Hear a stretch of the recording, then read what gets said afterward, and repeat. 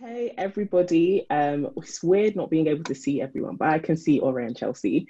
Um, so hey ladies, how are you? Good, good. Yeah, Ore good, looks so you. worried.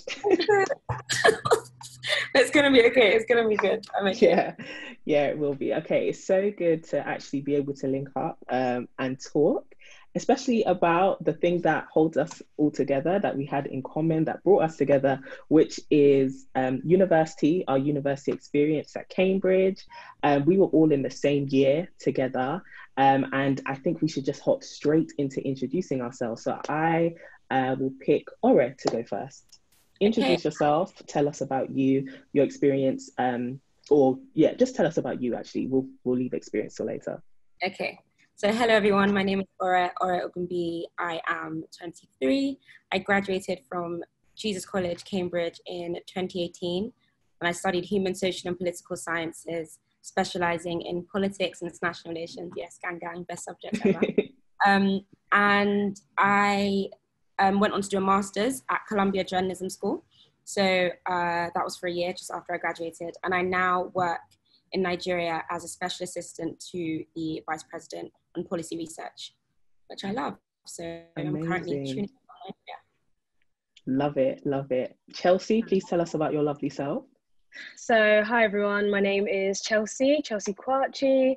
I was at Homerton College and yes, I graduated alongside Ore and Courtney in 2018.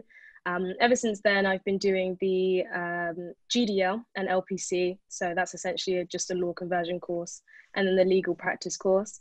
And I've actually just finished my second week um, um, at my new job. I've, so I've just started a training contract with um, a city law firm, which has been good so far.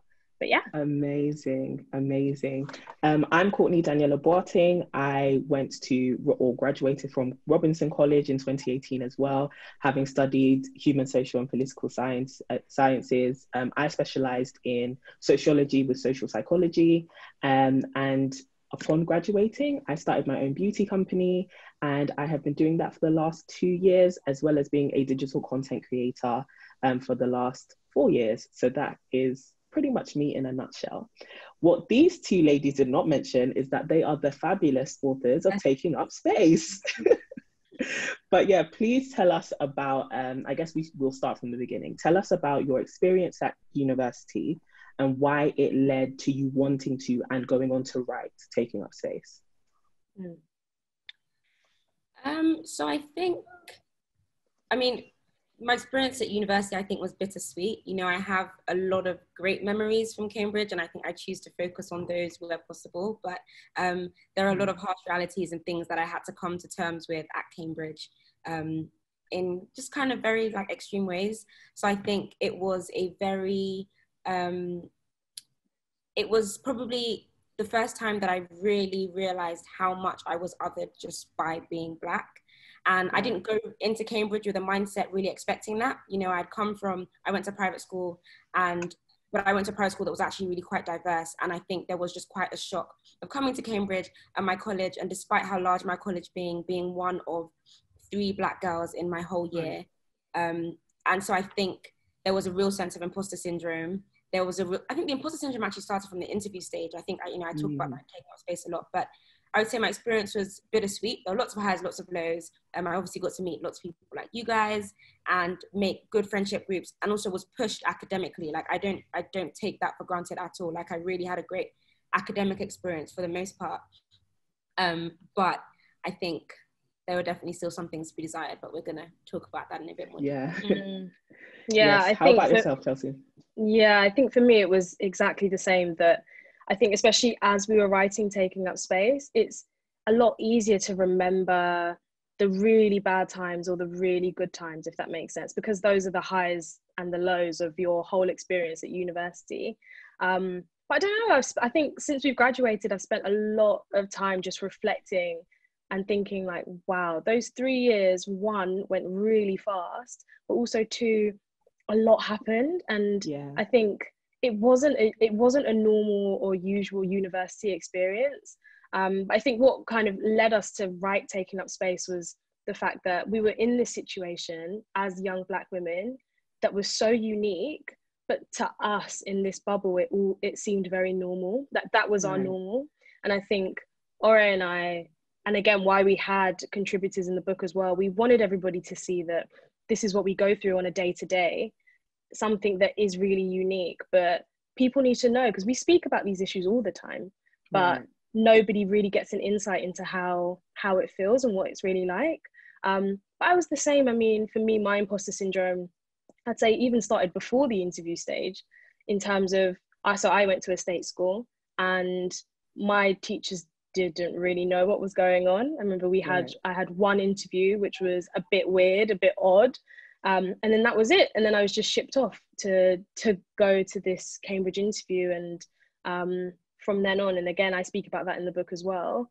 mm. that was i already knew that this was some somewhere that probably wasn't for me which is odd because right. i ended up there anyway but right so then ex- both of you have mentioned imposter syndrome um, and you talk about it, like you said, or a lot in taking up space, especially in the chapter called um, Finding Spaces. And so, explain to us um, your experiences with imposter syndrome and how um, environments or spaces like Cambridge or other universities can do better to help students battle that feeling and really overcome that feeling. So, we'll start with you, Ore, again. So, I think um, so imposter syndrome is this kind of idea that even though I've earned my place there, I just felt this kind of overwhelming sense of inadequacy, this sense of I'm not supposed to be here. Um, maybe it's some massive mistake. And they always right. say like at the beginning, like everyone has some kind of degree of imposter syndrome. You're all new. We actually, I remember we had a talk from the porters at the beginning, and you know, I, that was the first time I actually had heard the term imposter syndrome. But mm. I had to mm. think, and I think what we kind of talk about in the book is the specific ways in which it affects you as a Black woman in right. a space that has historically not included people like you. We talk about women not being let into Cambridge until like the 60s, but then also, well, how many Black people have really been going to Cambridge before, you know, the past kind of couple of decades as well. So it's a very, it's it's literally built into the walls. Like we say things, you know, uh, I, I, spent a lot of my time at Cambridge fighting for the repatriation of, of the Benin bronze cockerel, which means a lot to the people of Benin. And I had to kind of constantly make this case of celebrating stolen colon, colonial loots is not really where we're trying to be today. And I had right. to make that case a gazillion times.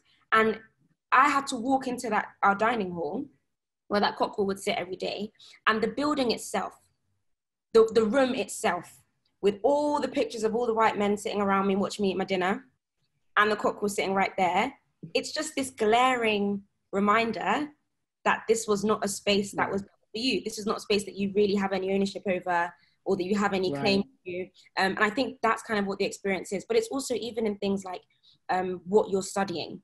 You're not seeing people like you reflected in. What you're studying in who is teaching you um, i think that's really important. I had one black woman teach me a couple lectures in my third year and another one a few sociology lectures in my second year but most people go their whole um, uni careers without being taught by a black woman at all and i think right. that's still it's a it's a countrywide problem but again it contributes to this imposter syndrome and this feeling of this place isn't for you people like you mm. don't excel to that level here mm.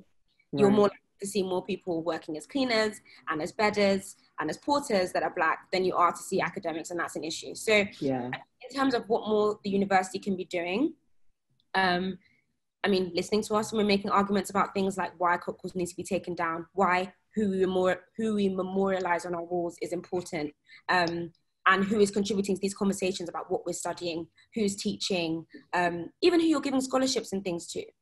Um, mm. Conversation around access and who we're letting in and and um, who we think is deserving of a place and, and what that looks like. It's a massive conversation, but I think universities need to just start, and especially Cambridge, need to start by listening. Um, they're mm. doing better than they were when we were there, which I think yeah, is definitely celebrate. But yeah, definitely. Mm-hmm. Um, how about yourself, Chelsea? So Ore mentioned with, um, especially with HSPS, I can relate. You, we were able to some extent read more diverse and this is obviously within the context of it's Cambridge still, we were able to read and kind of bring in more diverse um, lecturers or reading lists. But how about mm. you? Tell us what you studied and how that affected you within your course.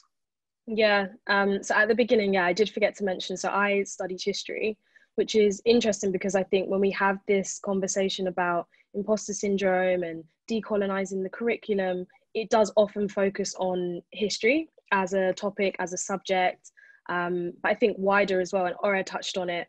Who's teaching the course? Um, moving further from that, who who is in the room to maybe make these decisions as to what is put right. on the syllabus, as to who the lecturers get to be that year, for example. Um, but yeah, I think again, Ore touched on a lot of. I think we can both agree are our same feelings, and I think a lot of the conversa- conversation around imposter syndrome you often feel starts with you. So when people talk about imposter syndrome, they're like, oh, but you know, you need to understand that you're deserving and you need to try and get over this and you need to do this and you need to do that. But when you go into an environment and there are literal physical markers telling you that you're an imposter, that's quite hard for you to think, mm. okay, maybe this is something to do with me and maybe my own self confidence and how I feel, when actually everything around you is telling you something very different. Um, so I personally think that's something that extends beyond Cambridge. It's something that starts before it, will continue after it as well.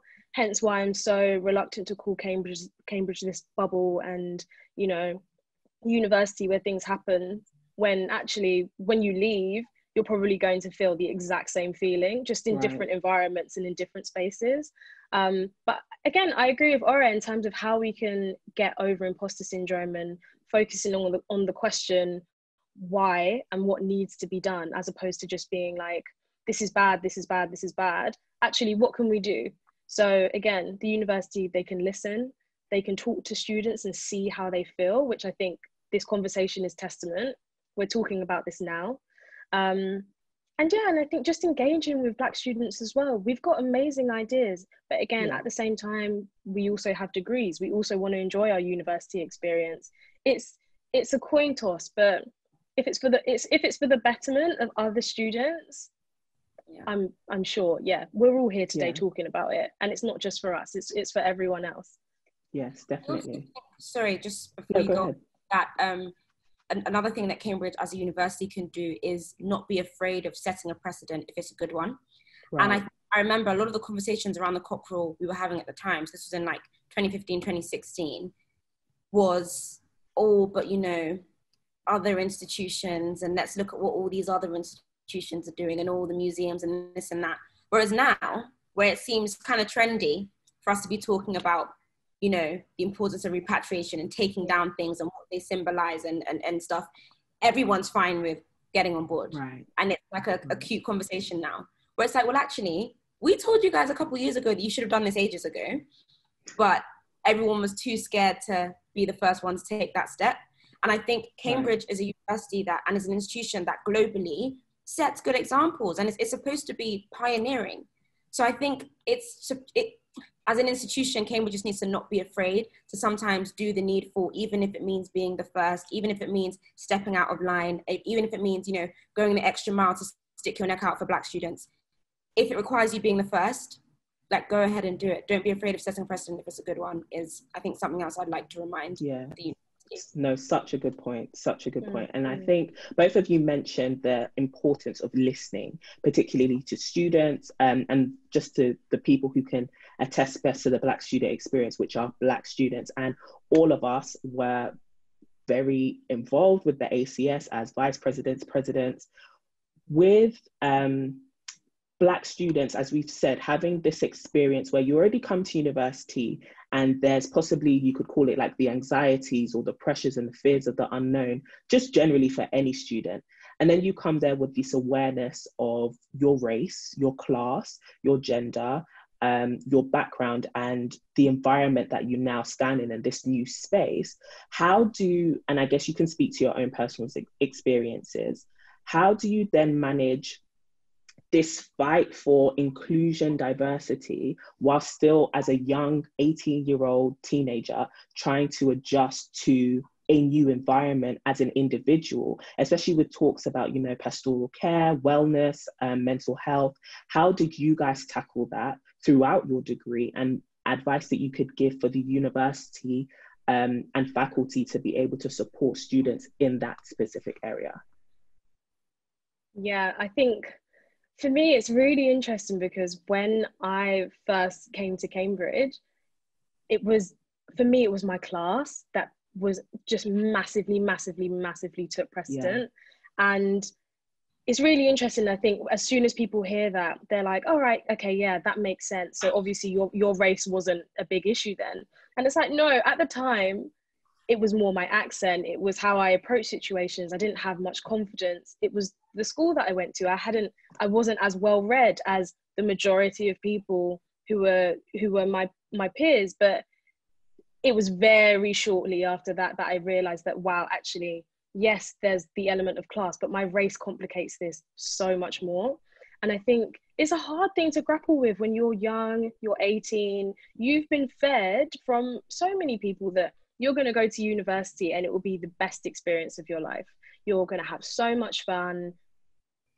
Doesn't need to be said. You'll be taught by amazing people, academics, lecturers. But on the side, you've got this bubbling something that's very institutionalized that actually no matter how much work you do it, it extends mm. beyond you it's something yeah. that's a lot bigger than you and i think for a lot of us at uni that wasn't something that you could ignore it, it yeah. was a necessity it, it was a case of well the only way to fix this is maybe one how do we improve access to activism? We need to talk about these issues but we also need to challenge them as well and criticize them. And that that is a necessity. And unfortunately you know the the being a black woman that's something that's rooted in our in our being. We can't mm. run away from these issues. When you look at me you see i'm black and you see that i'm a woman. I can't run away from that. So my action which i found was best was that we have to tackle that head on in any way that i can. It i i don't necessarily have to be on the front line but i'm going to do what i can do and what's in my power. But also at the same time i have a degree. Yeah. i need to graduate. How do i do that at the same time? So um, it was a fine balance but it's something that's rooted in necessity. You you have to i think which is quite sad but also quite empowering. I love that. I think, like talking about the pastoral thing and like trying to actually just be an 18 year old is actually very important because we focus, and I think so much these conversations focus so much on like, yes, as students, you're fighting for this and you're fighting for this and you mm. did this, and you're pushing for this and you do, but it's like, oh, you don't have to do that. That shouldn't actually have to be our responsibility. Right.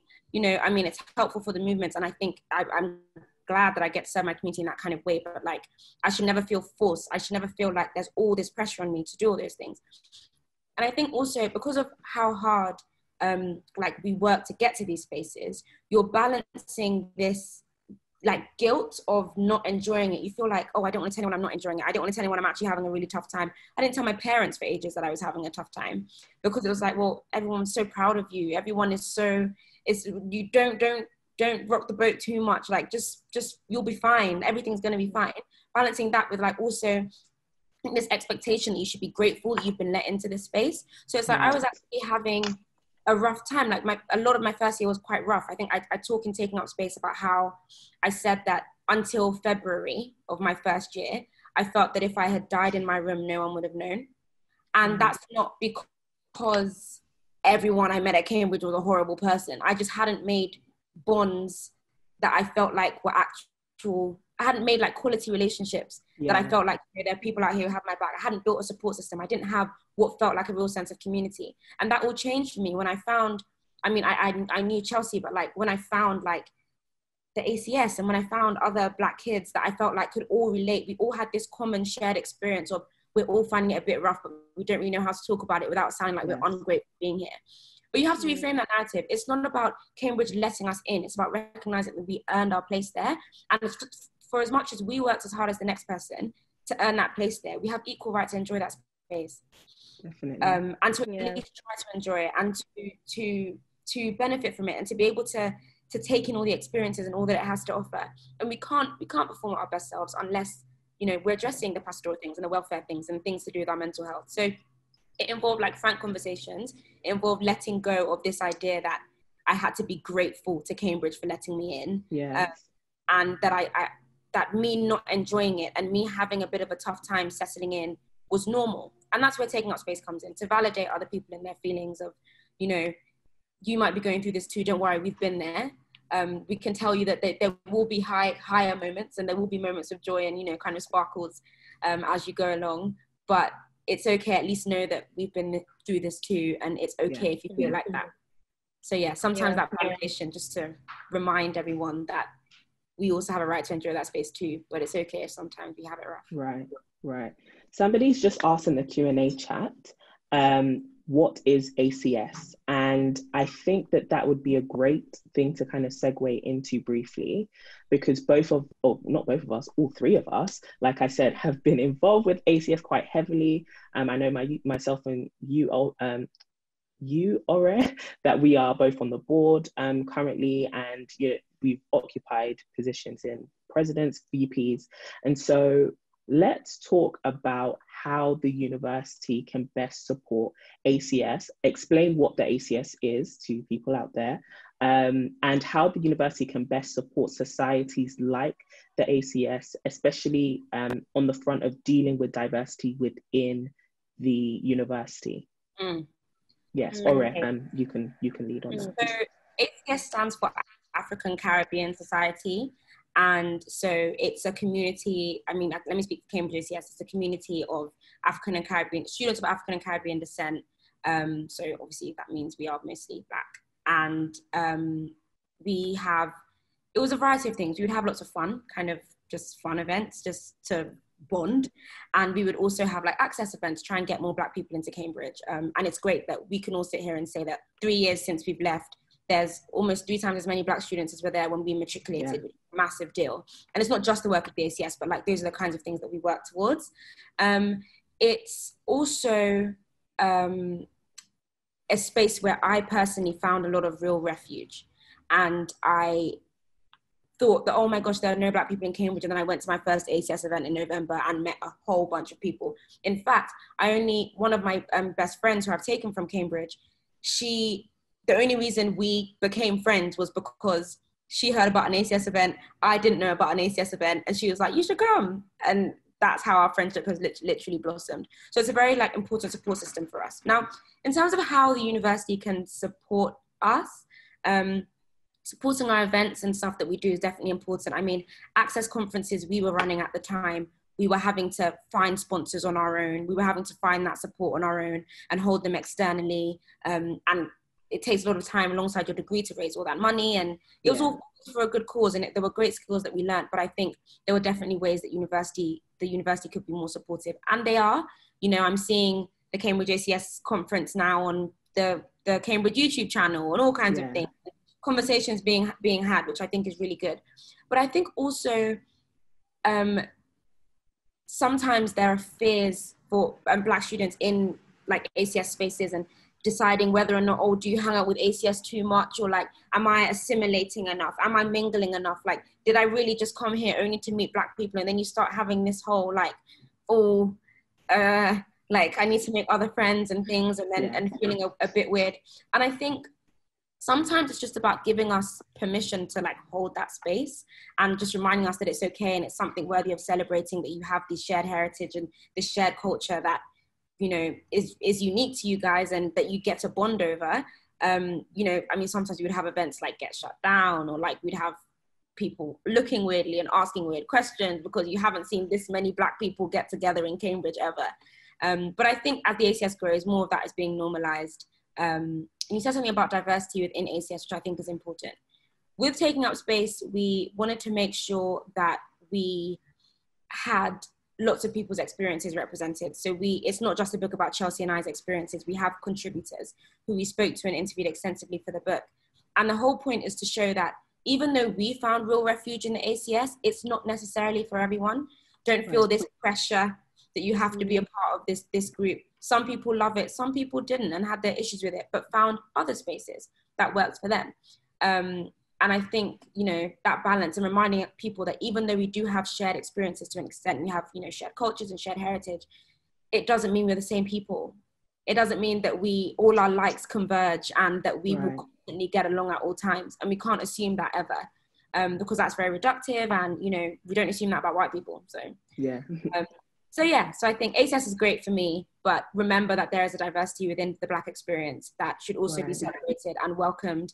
Um, and yeah, that's it. Amazing. Mm-hmm. Chelsea, did you want to contribute anything? I mean, I think she said most of it. um, I think in terms of, I remember when uh, I think you two were on the same committee, so I actually wasn't on ACS committee. So from somebody who was just a member and wasn't on the board, it was exactly the same. I think ACS was so important as a refuge. Um, but I don't know, also at the same time, I was probably a little bit similar to the students who were like, okay, I want to have ACS and I'd never deny that that part of my university experience, but I also was part of my football club. I did athletics. I do some history things on the side. It was really important that I was meeting all different types of people but I loved ACS. Like ACS was so important for me because you very rarely get a group of people who you don't even have to speak and they know exactly what you're going through. Definitely. And I think that that was something that was really special and you couldn't really replicate that anywhere else. Um, but yeah, I, I think in terms of how the university can support, I like Ore mentioned, they are doing their bit now, um, just giving it a bit more prominence um, and also using the ACS as a resource. But I think most importantly, understanding that for a lot of students, that is a place where they can just escape. So maybe don't always impose yourself and be like, oh, what's the ACS doing now? What are they doing next? What's that? Sometimes students just want to chill and not do anything. Yeah. You know, not everything is like a big move or a big thing. We just want to, in one group, have a chat, have a conversation, and that's it. So yeah. I think respecting the space, but also, yeah, understanding the ways in which you can support from a distance or get more involved and, you know, let there be a working relationship between the two because, yeah, great things could come out of that. Right. So those are such great responses about ACS and what it's like being a part of that society and depending on how close or how involved you want to be, how it can affect and shape your university experience. But that's pretty much within university. And I know yourself, Chelsea, you did, um, coming from a state background similar to myself, you also did a lot of access work with the main university, um, with like summer programs and things like that. So I wanted to ask what more or what better could the university and institutions like Cambridge do to assist state schools um, and schools in general to help improve the transition and also the application process or for those applying to Cambridge, how they perceive Cambridge and I guess make that transition into this this new space and this new world. Yeah, I mean, I think for me, it's so interesting because I remember in my first year, I was involved in, I think Cambridge were just launching something called the Alternative Prospectus, where I remember when my school had to get the prospective prospectus for Cambridge delivered just for me so I could have a look and stuff. Um, and I remember looking at all of the information, I thought, wow, this is so overwhelming. I don't even know what a college is. I don't know what all of these words mean. Um, but then I remember getting involved in this project with the alternative prospectus in that it was coming from the mouths and the voices of students. They would tell you things like, oh, you know, the toilets are really nice in this college, or the gardens are really pretty here. And I thought, wow, that's that's just really accessible. Um, but I think in terms of the transition, and this this has made me realize that it extends way beyond just the student. I mean, if there's anything, and I think this is the one thing I would possibly not knock about Cambridge and their access initiatives, they do very well. And I do think that they invest a lot of money and time into their access initi- initiatives as well. So it's now it's just about reach.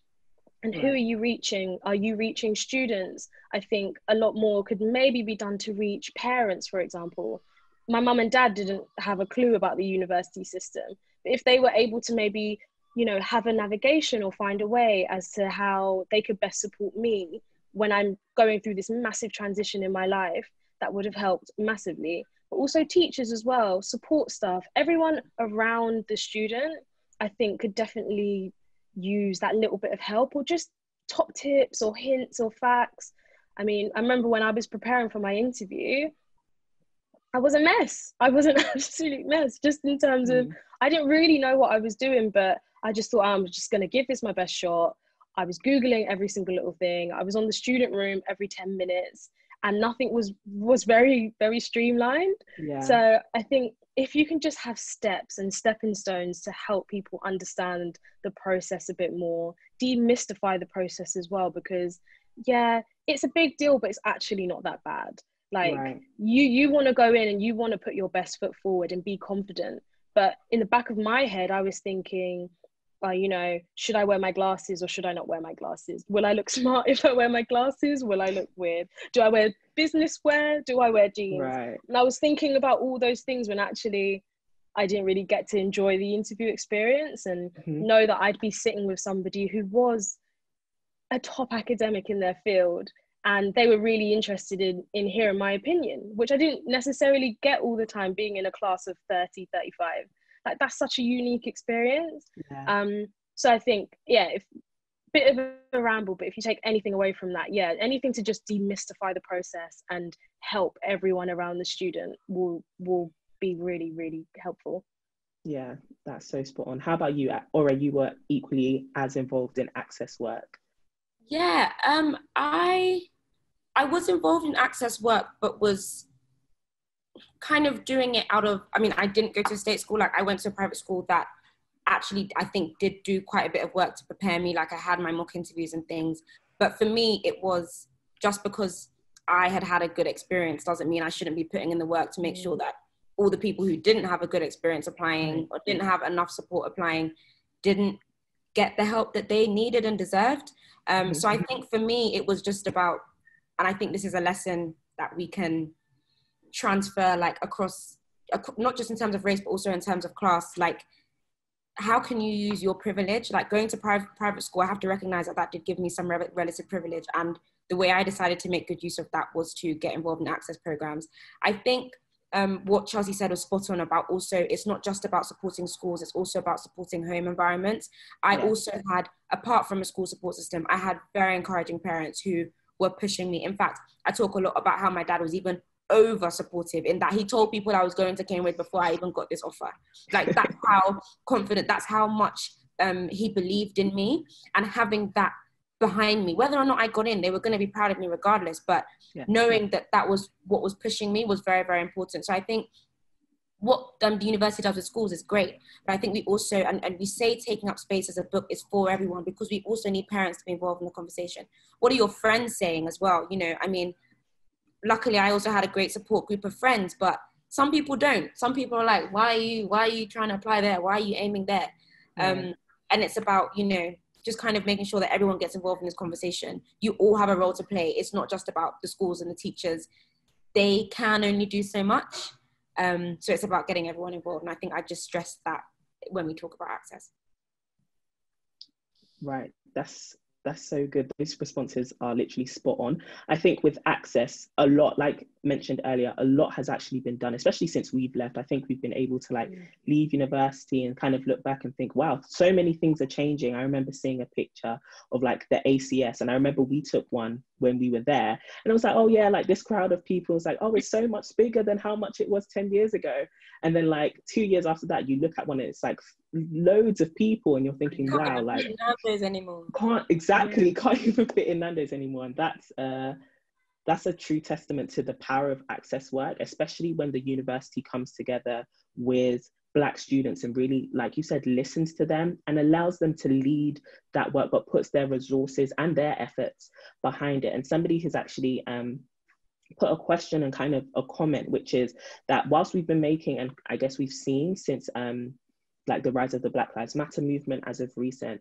There have been surveys, there have been questionnaires, there have been reports put out, and I think you see this about Cambridge all the time. There are loads of media articles, it seems every year, diversity is so bad, there's no black students, there's like two people. And um, we've seen all the reports about how bad it is, but really it just comes down to, like you said, Chelsea, let's ask a question as to why is it this bad if it is, and what can we do? And as the comment says, put our action behind it. Um, and it really is about action. So you guys took the action of writing Taking Up Space. and um, this is such an amazing book. Anyone who hasn't read it, you need to go and grab your copy. Um, but with Taking Up Space, what were your, I, I think you touched on it a bit, but really tell us what were your goals for the book? Um, and, and what did you want people to get from it? And what has the response been to the book since you released it? Okay, so I think one of our, in fact, not one of our, our primary goal was always to make Black girls just feel validated in all the experiences that they have.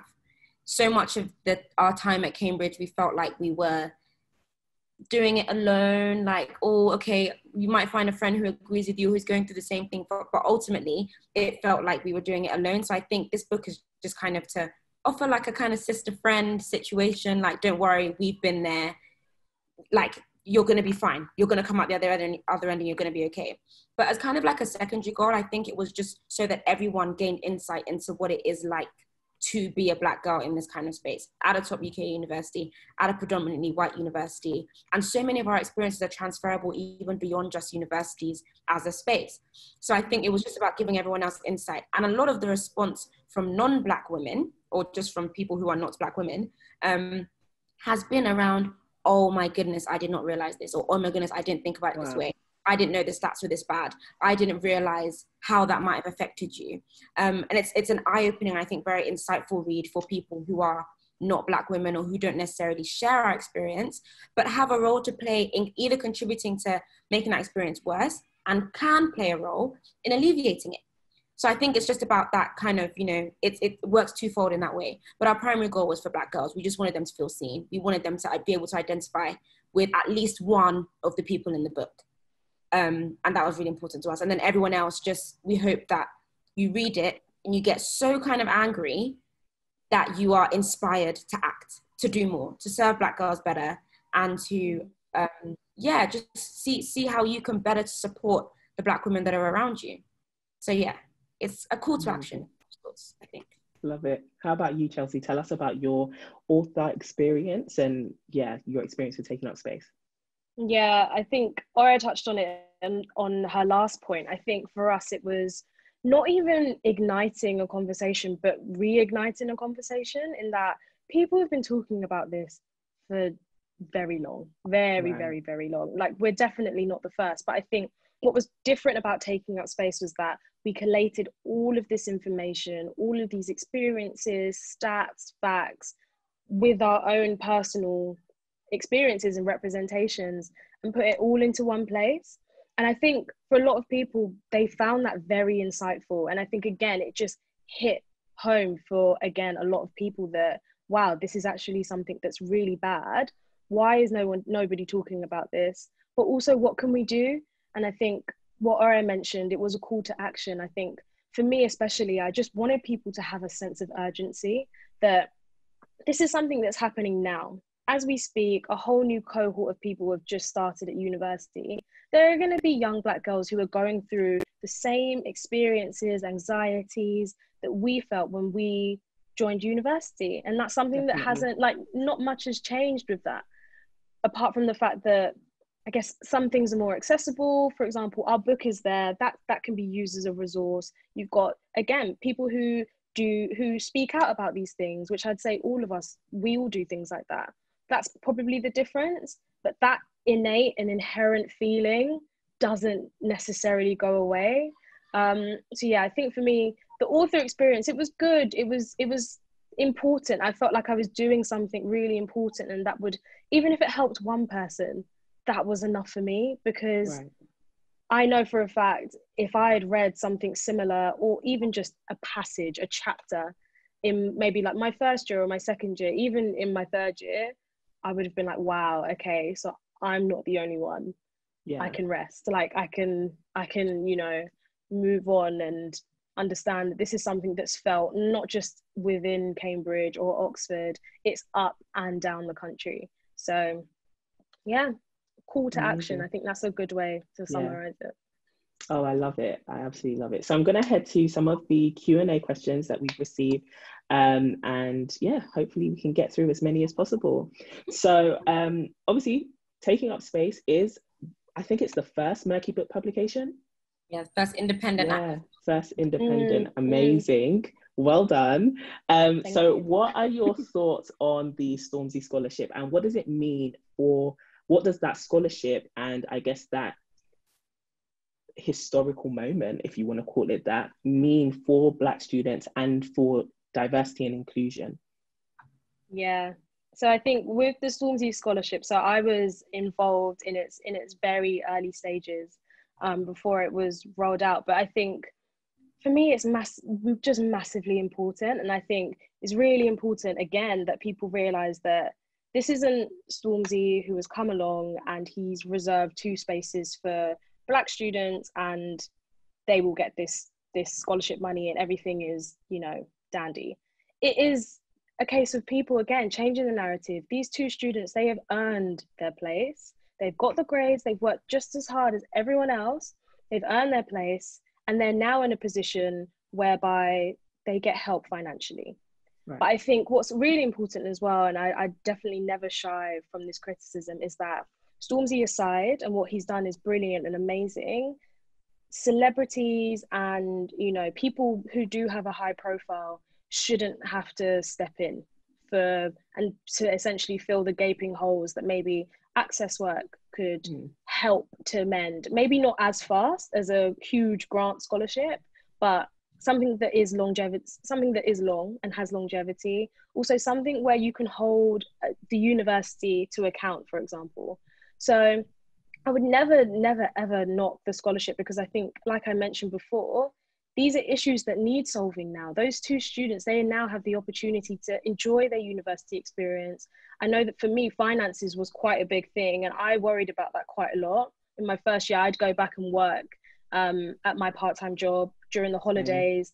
That wasn't time for me to maybe read or chill in the garden and stuff. I had to go and work because I knew that by the time I got back to uni, I'd be broke. So I think that just takes off an extra burden.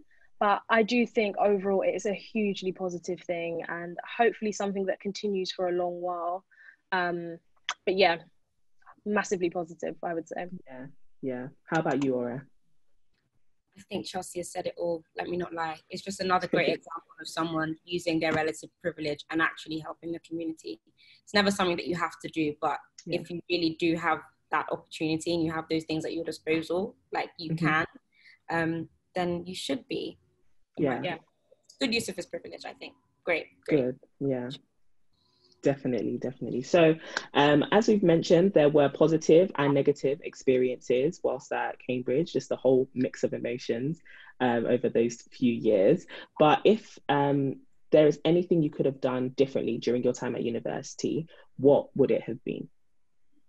So, I don't know, you know, I actually think, I always say sometimes I don't think regrets are healthy. So I try not to dwell right. on things like what could I have done, what could I not have done.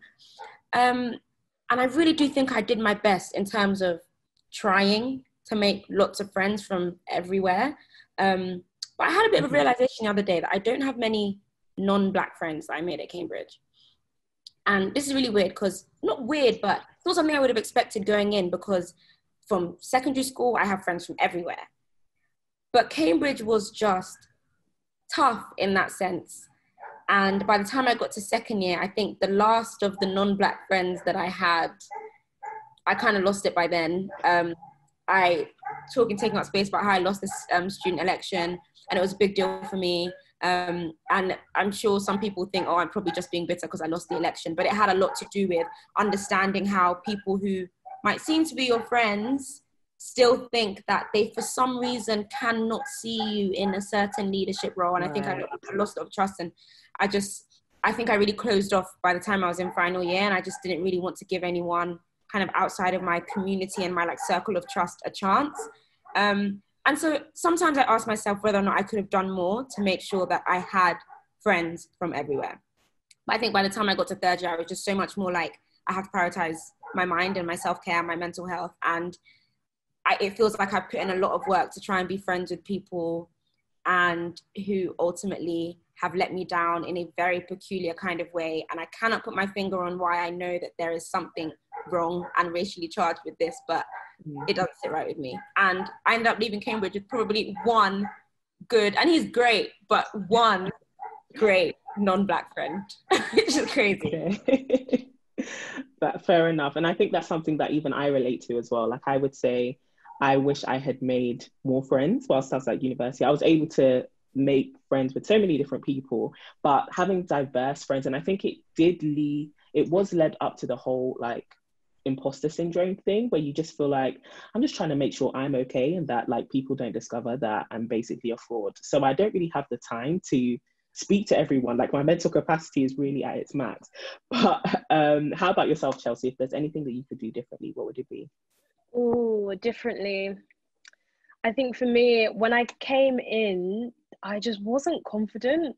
I was really nervous about everything. Again, anxieties about stuff, but also I always thought like these people are so much smarter than me. My my mm. who cares about my opinions or who cares about my thoughts? So I I think I'm very much a listener any anyway, but I remember in first year I, I really just used to sit back and just let other people speak, which I didn't mind, but I think actually half of the time I had the same thoughts, or if not, probably a little bit better, a bit more right. refined.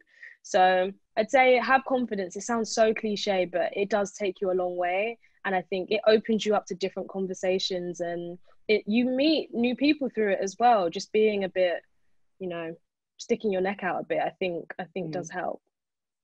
Amazing, amazing. So in this thing that we've mentioned quite a few times, privilege, how can non-black students and academics use their privilege or uh, join the fight against racism, institutional racism, and to better improve um, access and inclusion at university? Um, oh, sorry. All right. I think I, I, had a great director of studies. Um, his name was Duncan Kelly. Shout out to Duncan. And Duncan was a legend and he was a great listener. And I would come to him with issues of, I want to study this and it's not my curriculum. I want to study this, it's not my curriculum. I wanted to do more of this and you're only letting me do one essay on it. And he would listen and he would really listen and he would take the things that I would say to him and have conversations with them and he would take them higher. So at the end of the day, him being a director of studies, he's in a position to take these conversations further. And mm. what I try and say to non-black people, and this is to to, uh, to students and staff alike, but I think particularly for academics, this is where you might be able to help. What are you saying when we're not in the room? How are you taking the conversations that we have with you further?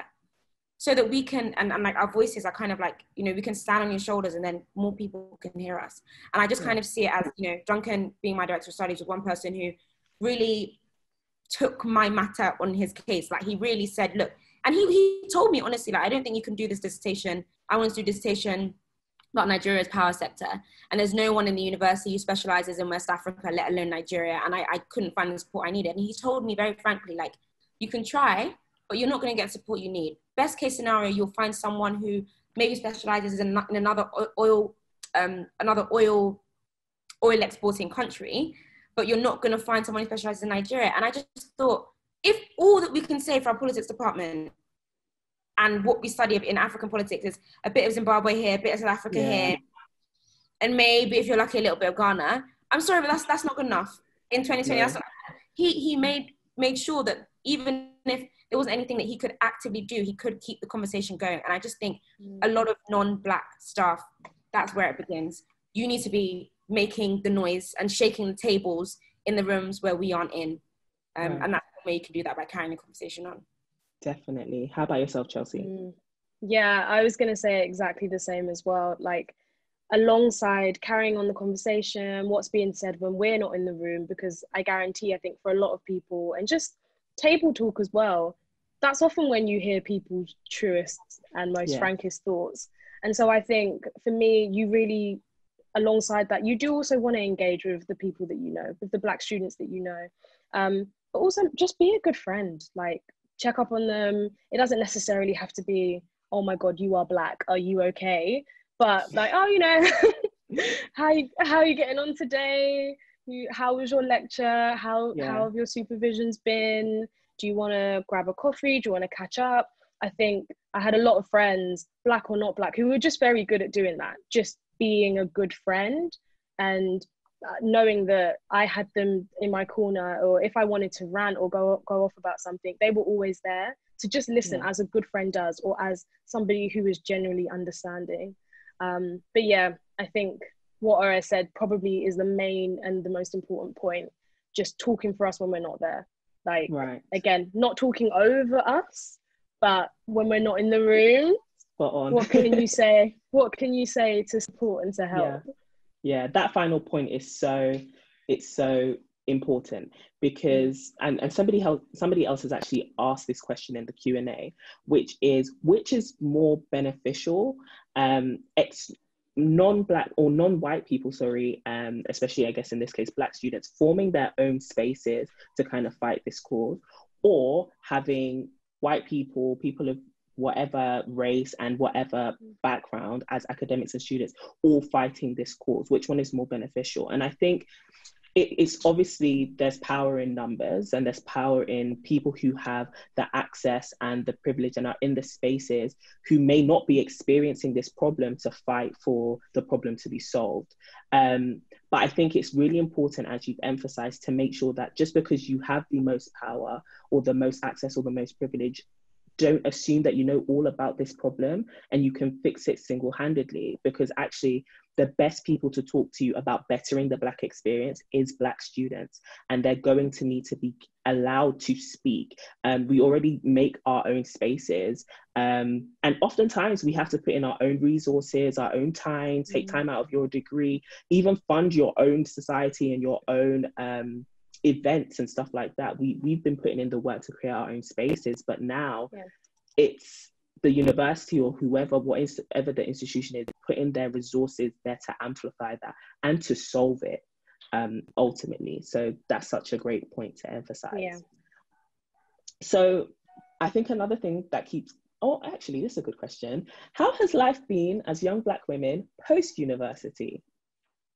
Gosh, all right, you can go because you know. okay, I, well, do you know what? What I think is quite interesting with both of us is that we've both done some sort of postgraduate education after.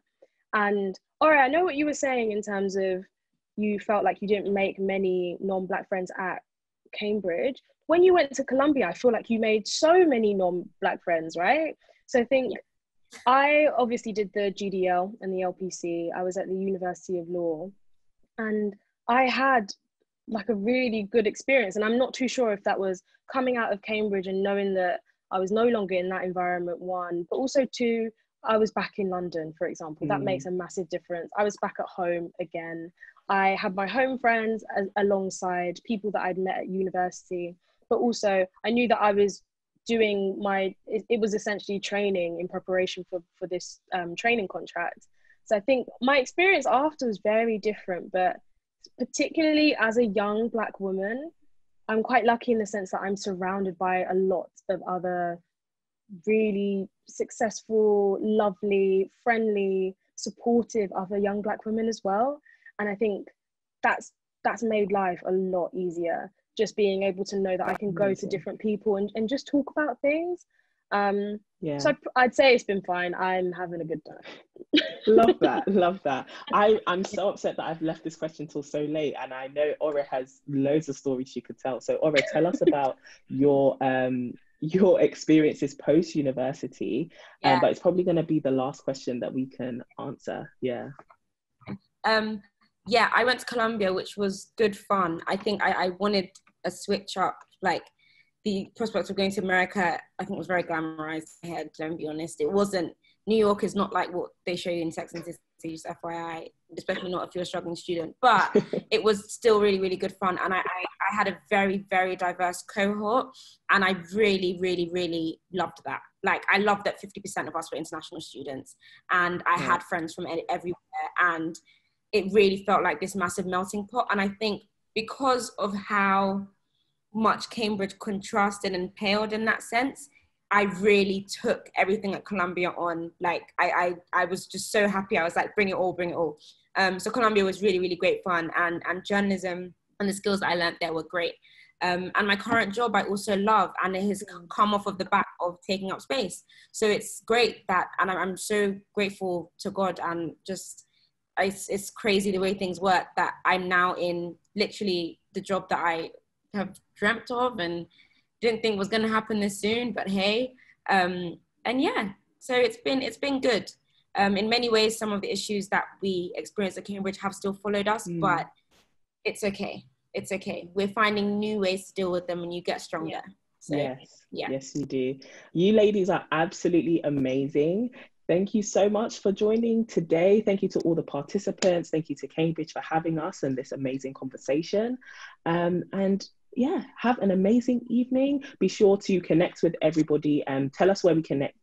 We can connect yes. with uh, you ladies and anything that you have coming up. Um, oh, we have um, at Taking Up Space Book on Instagram and at Taking Up Space BK on Twitter. You can find us. And we're also on Twitter and Instagram personally as well. Amazing. Yeah. Chelsea?